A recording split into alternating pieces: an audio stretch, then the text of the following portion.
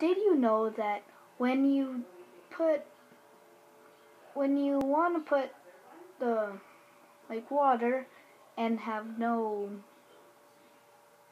drifts I say? Well here's the video. You just need like a 8 by 8 or a 10 by 10 or a 12 by 10 and so on and so on you have to start from any corner, then go to it, the, the other corner.